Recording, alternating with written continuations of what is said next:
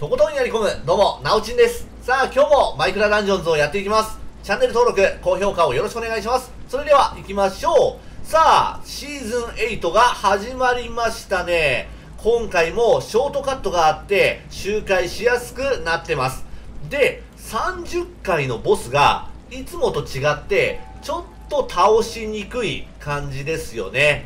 なので、今日は30回のボスを結構簡単に倒す方法、これをやっていきます。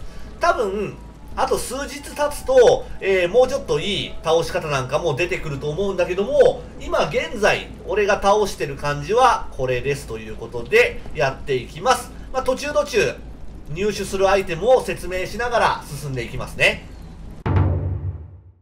4回の報酬です。ここで狩人のアーマー取っていってください。クールダウンがついているので、かなり使いやすいです。これを最後まで着ていきます。5回の報酬です。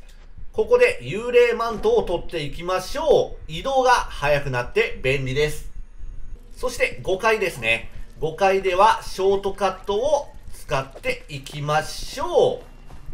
えーと、以前の動画で、ここ右側に行かないとダメって言ったけども、こっちから行っても全然大丈夫でした。敵は出てきません。ショートカット。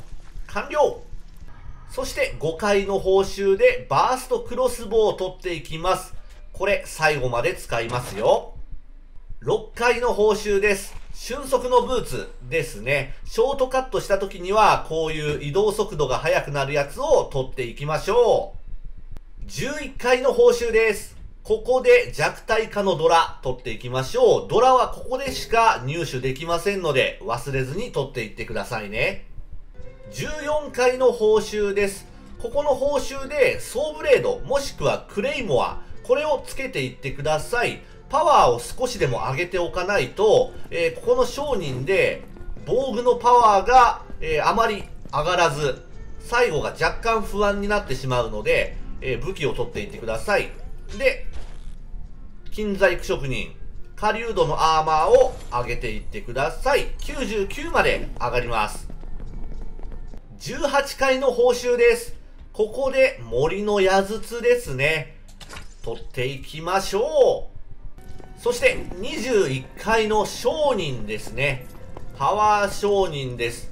ここで森の矢筒をパワーアップさせてください。次、28回です。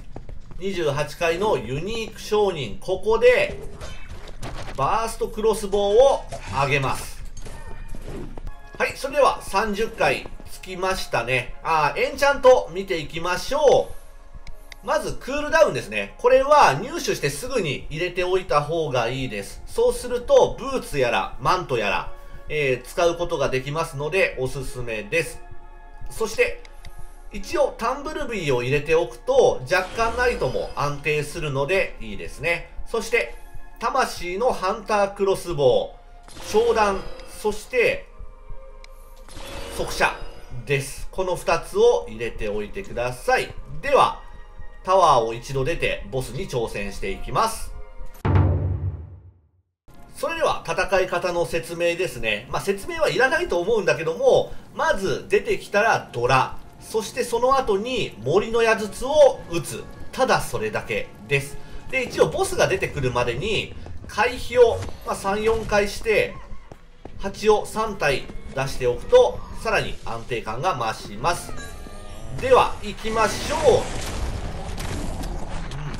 あ森の矢筒俺使ってなかった森の矢筒を使っていきますねあとエンダーマンだけですはいこんな感じですちょっと最初森の矢筒、えー使うのミスってたんだけども、えー森の矢筒を使えばエンダーマン即倒せるので、いい感じになると思います。ちょっとミスったな。